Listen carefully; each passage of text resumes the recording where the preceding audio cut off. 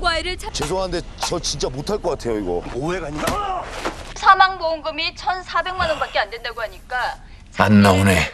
안 나와. 버티지도 못한 일이 많습니다. 이 시간이면 꼭 나왔었는데. 사고로 사망하시는 분이 한 해 5천 명이 넘는다는 아버지. 왜 안 주무시고 밖에 나와 계세요?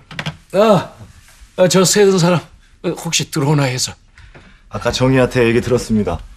아 근데 설마 그것 때문에 집에 안 들어오시겠어요? 그리고 어디 갈 데도 없다고 하셨다면서요? 아, 뭐 아직 월세도 안 냈으니 나간다고 해도 아쉬울 건 없다만 아주 소심한 것 같은데 그 충격받았나 싶어서 그래.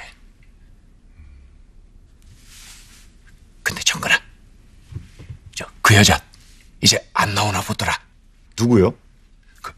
홍 여자가 쏜다. 그 여자 나한테 그 세제 세트 비싸게 팔고 참기름도 안 준 홈쇼핑 그 여자. 뉴스에 그렇게까지 나왔는데 방송 나오겠어요? 그렇겠지?